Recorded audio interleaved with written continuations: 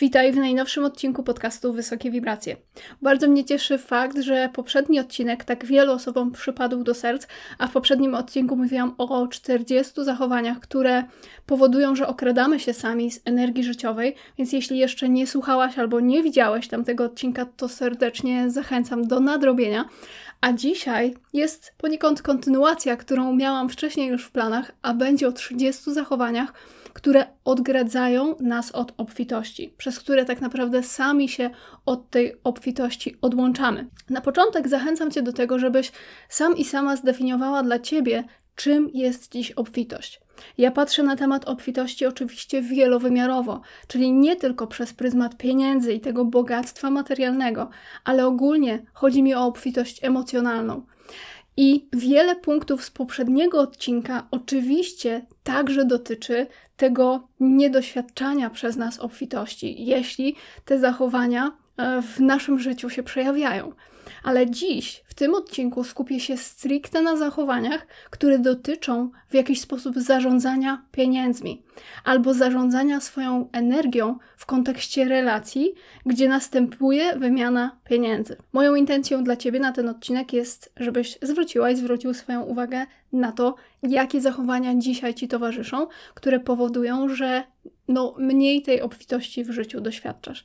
Jednocześnie oczywiście pozwoli ci to wziąć większą odpowiedzialność za tę swoją część, przestać zrzucać odpowiedzialność na innych, a przejąć też y, taką częstotliwość osadzenia w swojej mocy, w zdrowej też świadomości tego, jak możesz konkretnie zacząć działać dla siebie na teraz, żeby doświadczać większej obfitości, także tej materialnej, bo tak jak mówiłam wcześniej, na niej dzisiaj się głównie skupię. Jeśli podczas słuchania całej tej listy poczujesz, że chcesz rozpracować różne te zachowania, bo dużo z nich będzie Ciebie dotyczyło, a co więcej, będziesz chciała i chciał rozpracować przekonania, które się kryją pod tymi zachowaniami, te podświadome przekonania, które rządzą twoim, Twoimi działaniami, to zapraszam Cię do procesu 22 dni do odbudowania relacji z energią pieniądza, a szczegóły tego szkolenia znajdziesz gdzieś pod tym wideo.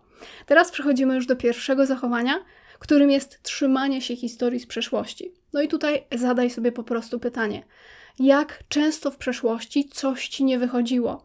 I czy działasz wciąż na podstawie tego wierzenia, że to znów musi być Twoją historią?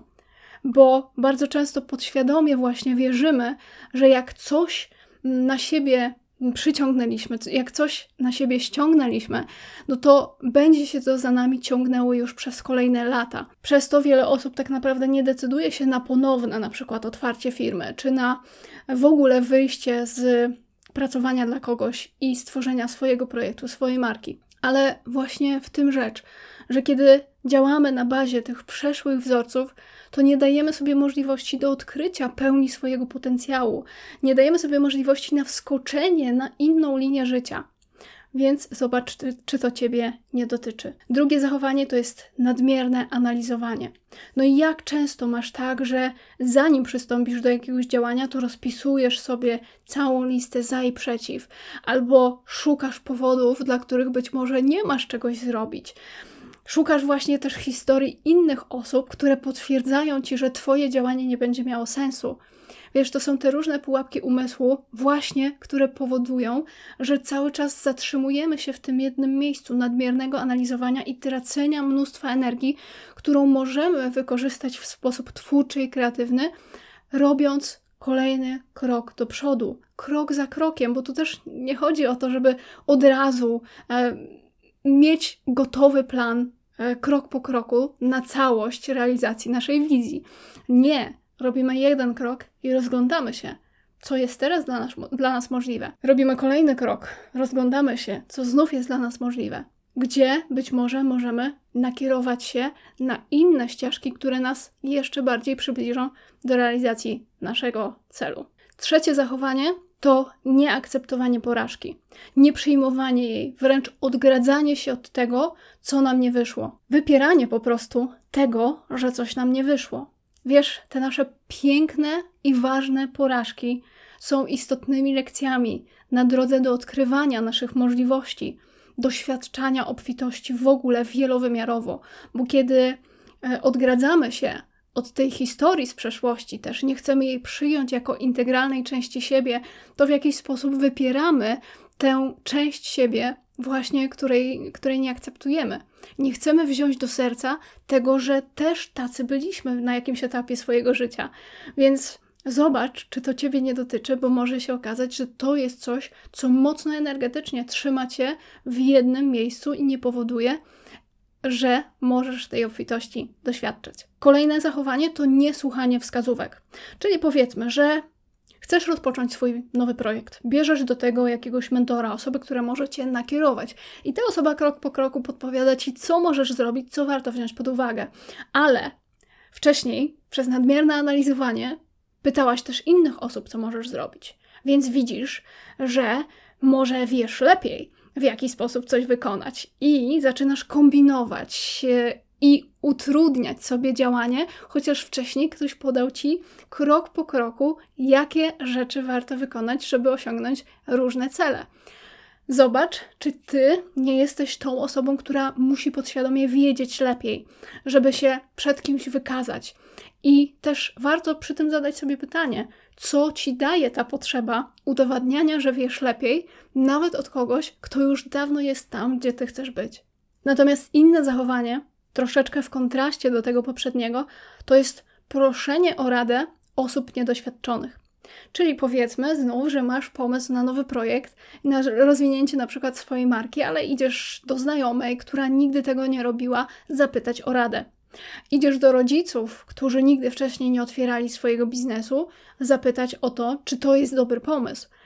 Widzisz, tutaj o to chodzi, żeby mm, zwracać uwagę na to, czy faktycznie nie zadajesz pytań osobom niedoświadczonym, dlatego że sama, sam nie masz pewności, czy ten pomysł to jest coś, co, za co powinnaś się zabrać. Kolejne zachowanie to jest po prostu brak wiary w swoją wartość i sprawczość.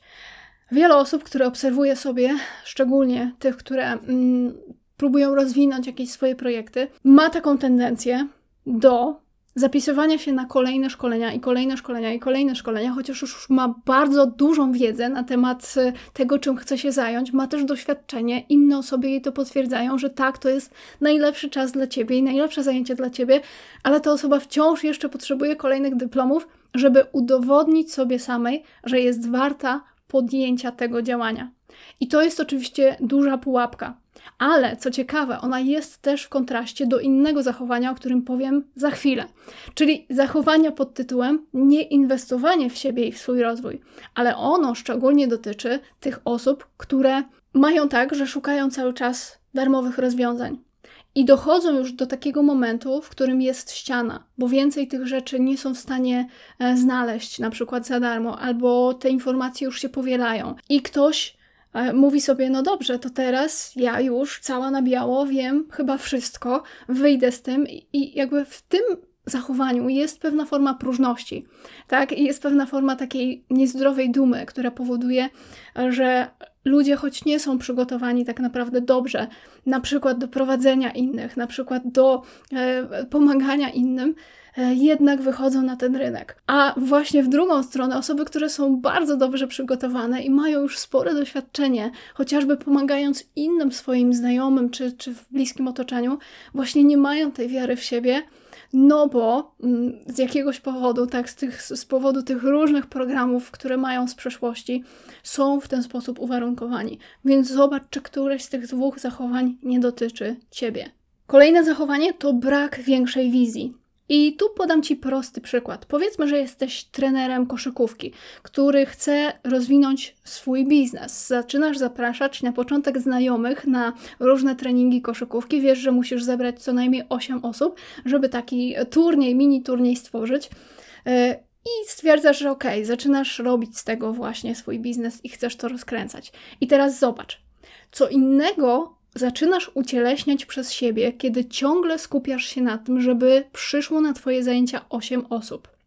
Bo na przykład skupiasz się na tym, żeby wrzucać informacje na jakieś grupy, żeby inni to udostępniali, żeby te osoby dzwoniły do ciebie, wysyłały ci przelewy, a co innego ucieleśniasz przez siebie, kiedy mając większą wizję, skupiasz się na tym, żeby stworzyć sobie zautomatyzowany system, przez który ludzie będą sami się zapisywać na takie zajęcia i będą na nie przychodzić zgodnie z kalendarzem, który mają online dostępny. Rozumiesz? Tu właśnie chodzi o to, żeby mieć tę większą wizję na siebie, bo w którymś momencie jasno poczujesz, gdzie jest ta ściana i należy zacząć coś innego przez siebie ucieleśniać, czyli ucieleśniać tę większą wizję. Kolejne zachowanie to nieświętowanie sukcesów.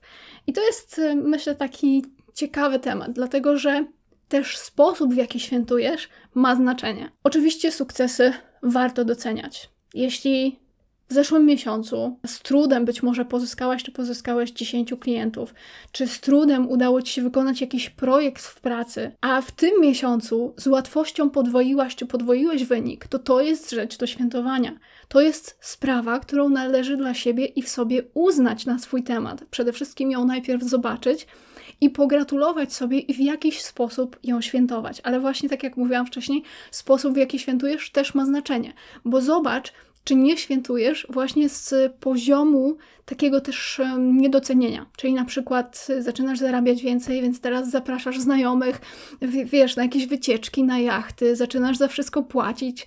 To jest z poziomu właśnie wewnętrznego braku docenienia. Jeśli okej, okay, zapraszasz znajomych po prostu, żeby poświętować, uczcić coś, ale zachowujesz przy tym swoje granice i pozwalasz też na to, żeby inni się tobą zaopiekowali, to jakby w tym jest równowaga, tak? Więc e, też sobie popatrz na to, czy takie zachowanie ciebie nie dotyczy. Kolejne zachowanie, które też pojawiło się w poprzednim wideo, ale myślę, że warto je tutaj wspomnieć, to jest nadmierna kontrola. I zobacz sobie, czy nie masz tak, że jak sobie już ułożysz ten twój plan od A do Z, krok po kroku, jak zrealizujesz swoją wizję, e, jak na przykład mają przebiegać kolejno twoje inwestycje, to czy nie siedzisz i cały czas nie patrzysz, jak to się wszystko układa? Czy nie masz takiej tendencji do na przykład chęci przyspieszania jakiegoś efektu? Czy nie masz tak, że właśnie wchodzi ego zamiast czucia sercem i działania z serca, że wchodzi ego i, i próbujesz e, jeszcze się zastanowić, ok, to co jeszcze mogę zrobić, gdzie jeszcze mogę coś dodać, kogo jeszcze mogę zapytać? I jest w tym takie ciągłe napięcie, które powoduje opór które nie daje właśnie tej świętej przestrzeni do działania czemuś większemu od ciebie. Kolejnym zachowaniem jest zerowa cierpliwość do samego czy samej siebie i chęć posiadania efektów na już. No i tutaj musisz sobie zadać pytanie, czy masz tę umiejętność i rozwijasz ją właśnie dla siebie, po to, żeby mieć, mieć większe mm, zdrowie mentalne i fizyczne bo cierpliwość to jest taka piękna umiejętność, która rozluźnia nasze ciało, która powoduje, że dajemy sobie czas na wyciągnięcie wniosków, na przyznanie się do różnych błędów, na wyciągnięcie wniosków i lekcji z tych błędów, na po prostu też puszczenie tego oporu. A to prowadzi mnie do kolejnego zachowania, które powoduje, że oddzielamy się od poczucia obfitości. To jest brak dania sobie czasu na odpoczynek albo na pauzę. I to są dwa różne zachowania, dwie różne rzeczy, o których chcę tu wspomnieć, bo odpoczynek dotyczy się oczywiście tego, że mm, no nie doprowadzamy do tego wypalenia i pozwalamy sobie być po prostu w ciszy, w bezruchu, nie bierzemy na siebie kolejnych obowiązków, kolejnych list rzeczy do zrobienia, tylko po prostu luzujemy i idziemy odpocząć nawet w ciągu dnia, w ciągu intensywnego dnia pracy, to też ma znaczenie. Nie tylko wyjeżdżamy na urlop raz na 6 miesięcy, ale właśnie w ciągu dnia dbamy o to, żeby mieć dla siebie czas na odpoczynek. Na to, żeby nowe pomysły mogły do nas spłynąć, żeby rzeczy mogły się zadziać poza naszą, naszym wkładem, Y, i kontrolą właśnie naszego umysłu. A pauza to jest jeszcze inna rzecz, bo pauzę możesz chcieć wykorzystać chociażby do tego, e, kiedy jesteś podczas ważnej rozmowy, czy negocjacji, czy sesji z klientem, e, czy, czy rozmowy z szefem nawet. To jest też moment, w którym możesz wykorzystać czas dla siebie, na to, żeby wrócić do swojej energii, wrócić do swojej mocy i po prostu powiedzieć: Wiesz co, potrzebuję teraz przerwy, zróbmy sobie małą pauzę, trzyminutową, i to jest właśnie piękny czas dla ciebie do, do tego, żeby chociażby wrócić do przestrzeni swojego serca. Więc zobacz, czy masz tak, że ciśniesz na siłę, czy jednak dajesz sobie czas na odpoczynek i na pauzę. Kolejne zachowanie, bardzo ciekawe, to jest brak konkretnych działań. I uwierz mi, tak, są osoby, które choć mają piękne pomysły, choć y, obiecują sobie, że za chwilę się czegoś podejmą, to wciąż tak bardzo unikają konkretnych działań mających na celu na przykład sprzedaż, czy na przykład podniesienie jakiegoś poziomu ich zarobków, wciąż unikają, dlatego że no, czegoś się boją, od czegoś uciekają. Więc to dotyczy też umiejętnego zarządzania swoją energią męską i jej zdrowym przejawem. I taką czynnością, którą być może warto podjąć, jeśli jesteś osobą, która unika konkretnych działań, jest po prostu sprzedaż.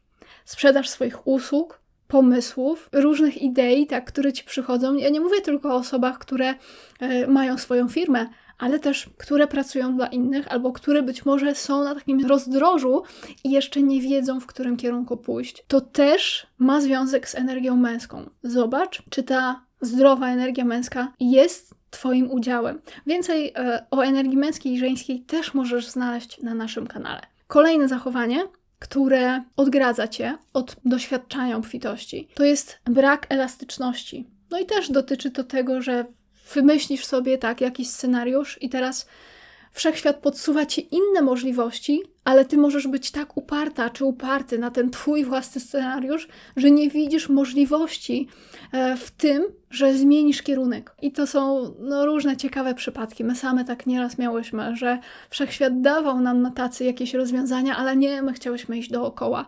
Więc warto przy tym korzystać ze swojej intuicji na bieżąco pytać się swojego ciała, swoich odczuć w ciele, tak, co czujesz na dany moment. Czy warto wziąć pod uwagę ten nowy scenariusz i skorzystać z elastyczności, z elastycznego podejścia, czy jednak trzymać się planu. Kolejne zachowanie dotyczy unikania podjęcia ważnych rozmów.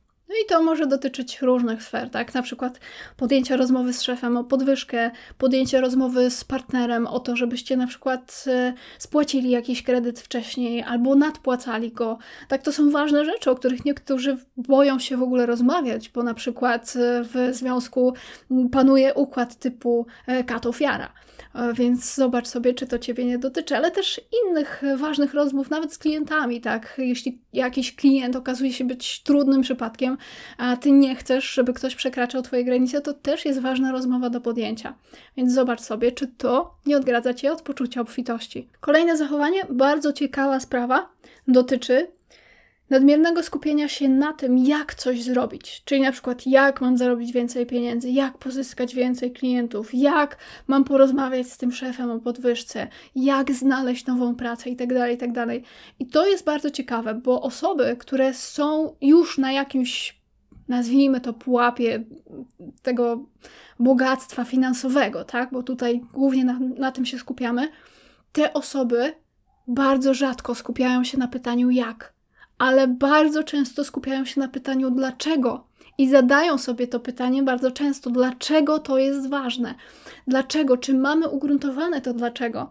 Bo jak mamy, to rozwiązania same nas znajdą, bo po prostu jest w nas inny przejaw energii. Czym innym zaczynamy emanować, bo wiemy, dlaczego to robimy, więc to jakby po prostu ta energia jest na wyższych częstotliwościach. Mamy po prostu też takie przekonanie, że to jak już jest i ono nas samo znajdzie.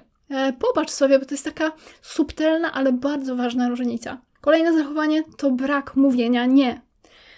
I no może się to dotyczyć różnych rzeczy, na przykład znajomy albo ktoś z rodziny prosi cię o pożyczkę. A ty nie umiesz odmawiać, bo przecież jak to tak odmówić komuś z rodziny? Może to oczywiście dotyczyć też kogoś w pracy, kto po raz kolejny chce się z tobą zamienić, chociaż ty już masz plany na dany dzień i wcale ci to nie pasuje, ale nie wypada odmówić, bo na przykład jak ty będziesz chciała się zamienić, to ta osoba może ci odmówić, tak? Więc no, to są też takie różne pułapki umysłu, w które często wpada wiele osób. Więc zobacz sobie, czy umiesz mówić nie. A jeszcze jedną rzecz, którą chciałam dodać do tego. Wiesz, u nas w pewnym momencie kiedy wiedziałyśmy, że jesteśmy przed kolejnym skokiem kwantowym, musiałyśmy sobie zadać bardzo ważne pytanie pod tytułem: czego musimy robić mniej? Czyli nie wcale, co my jeszcze musimy zrobić, e, jakie jeszcze działania podjąć, tylko co musimy odpuścić, co uwolnić, jakie przekonanie, też jaki wzorzec, żeby e, móc ruszyć dalej i zrobić właśnie ten wielki skok kwantowy. Kolejne zachowanie to zero czasu na podsumowania i sprawdzenie, co działa. Bo wiesz, kiedy nie wiesz, co działa, e, a co w ogóle nie działa, kiedy nie masz tego czasu na przejrzenie się temu, zrobienie jakiejś może nawet analizy e, takiej konkretnej, z jakichś konkretnych liczb, to powoduje, że nie wiesz, co możesz zeskalować, chociażby zeskalować swoim czasem, czy, czy zeskalować swoimi finansami, jeśli masz takie dostępne. Warto wiedzieć, co działa, żeby móc stworzyć sobie dźwignię do kolejnego kroku e, i skoku kwantowego. Kolejne zachowanie to jest e, brak uważności w działaniu. I uwierz mi, choć to może brzmieć banalnie, to jest naprawdę bardzo istotne, bo no, kiedy nie jesteś w 100% w tu i teraz, to po pierwsze czas ucieka ci przez palce, twoja energia też, ponieważ jest rozproszona, no to nie idzie w kierunku tworzenia tego i urzeczywistniania tej wersji ciebie, której chcesz doświadczać.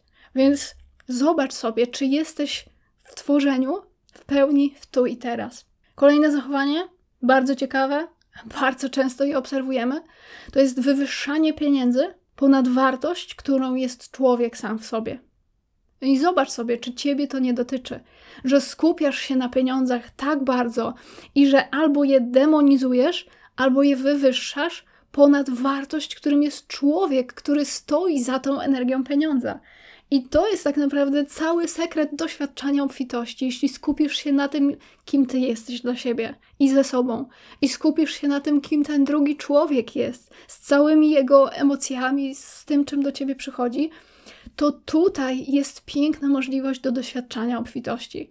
Wystarczy tylko przełożyć swoje skupienie z pieniędzy na drugiego człowieka. Kolejna rzecz, kolejna sprawa to jest podświadoma lojalność rodowa. Bardzo ciekawy temat, który faktycznie dotyczy wielu osób, tak jak sobie rozmawiamy z, różny, z, różnymi naszymi klientami, bo może być tak, że masz taką lojalność wobec historii kogoś z Twojej rodziny z przeszłości, że też decydujesz się albo obrać tę samą ścieżkę, albo na siłę kogoś uratować i wyzwolić, tracąc na to masę swojej energii, zapominając o tym, że Twoje życie jest Twoje i że to jest Twoją odpowiedzialnością, żeby przeżyć swoje życie, a nie czyjeś.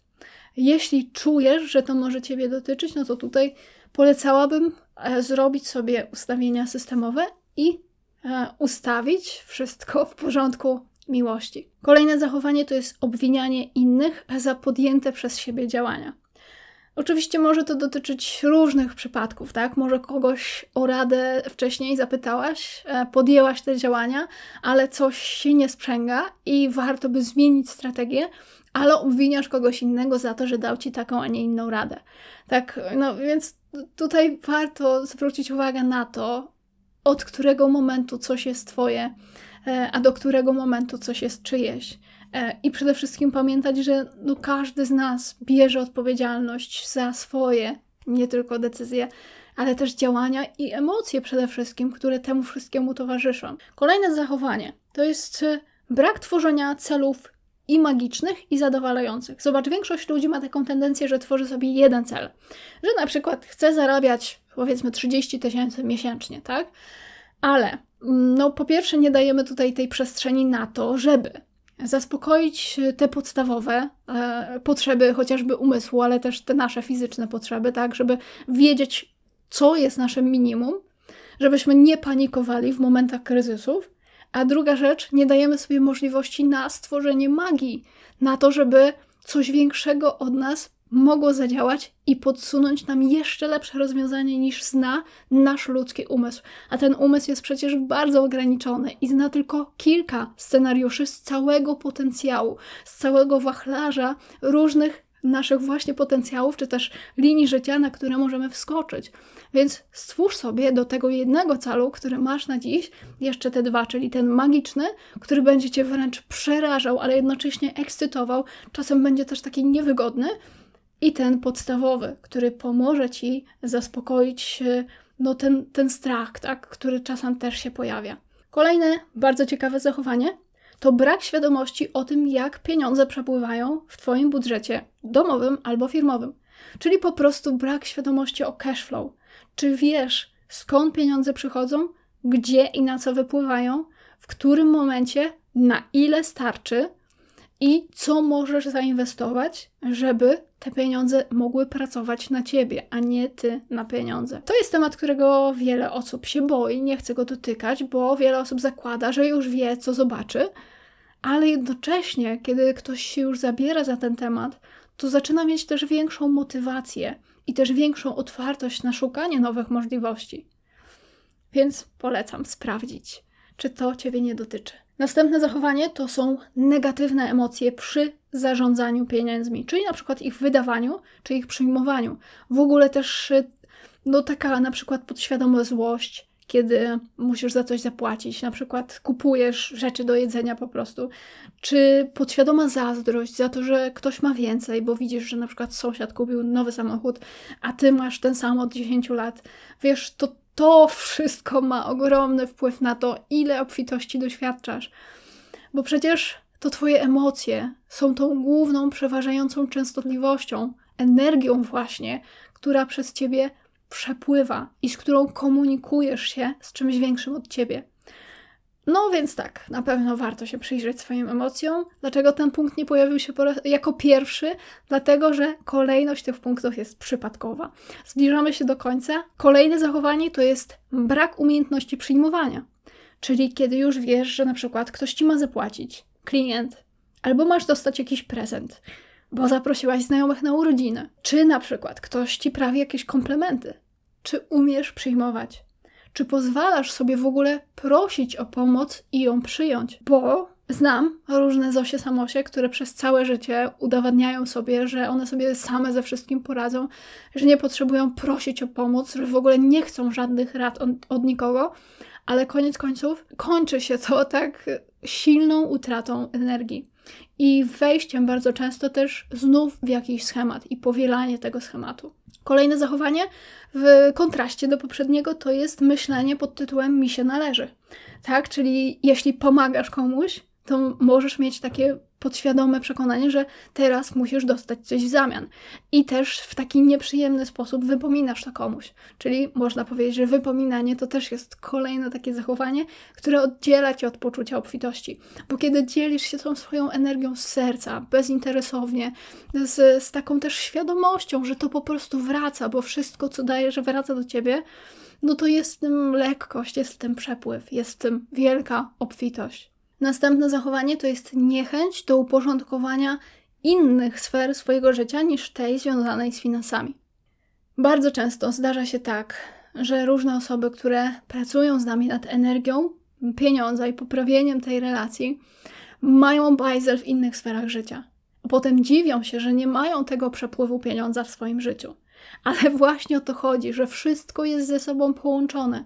Więc jeśli jest jakiś temat, od którego uciekasz latami, yy, którego nie chcesz dotknąć, nie chcesz posprzątać tych trupów w szafie, to nie dziw się, że nie doświadczasz tej obfitości także materialnej. Ale po prostu zwyczajnie masz ruch ku śmierci, bo nie chcesz zobaczyć czegoś, co tak bije po oczach, że no nie da się już tego odzobaczyć. Więc Przyjrzyj się temu, co i w jakich innych sferach jest do posprzątania. Może to oczywiście dotyczyć relacji, ale może też dotyczyć Twojej relacji w ogóle z ciałem, ze samą czy samym sobą, z tym, jak patrzysz na siebie, a także też na innych, z tym, czy dajesz sobie możliwość na odkrywanie siebie w jakichś pasjach. E, no, zobacz sobie, gdzie tam ten trup leży i, woła o Twoją uwagę i o zajęcie się tym tematem. Zbliżamy się do ostatnich dwóch zachowań. Jedno z nich to jest strach przed sukcesem.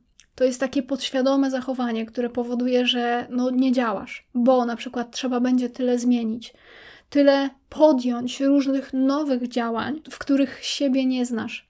No i to prowadzi nas do drugiego i ostatniego już na to wideo zachowania, czyli strachu przed tym, kim możesz się stać. I bardzo częsta sprawa też, która podświadomie odgradza nas od poczucia obfitości. Wiesz, ty dzisiaj znasz się w tych różnych zachowaniach, w których na przykład doświadczasz braku. Wiesz, jak sobą w nich zarządzać.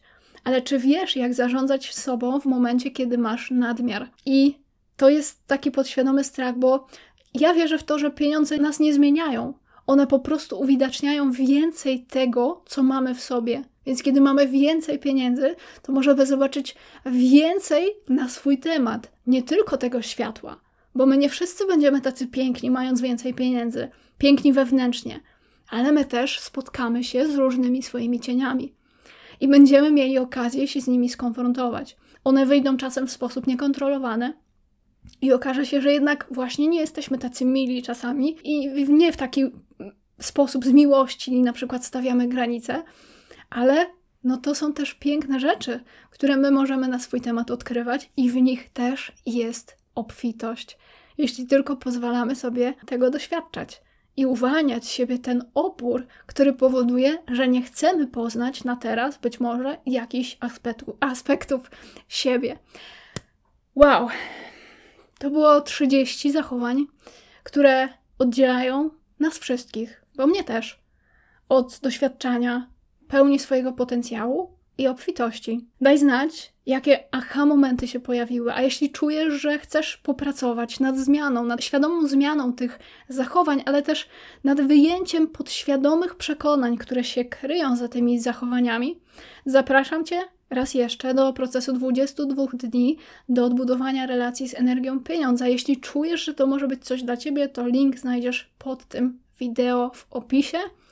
Dziękuję Ci za to, że jesteś. Do usłyszenia w kolejnym odcinku podcastu Wysokie Wibracje. Cześć.